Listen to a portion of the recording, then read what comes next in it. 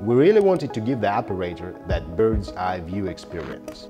A gyro inside the unit mirrors your head movements in FLYBi camera, giving you the ability to really look around and explore from the sky.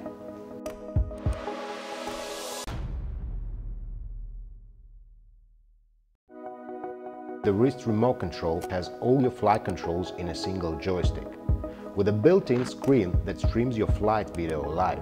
You can snap photos and videos with the press of a button, and your height and rotation are achieved by spinning the base.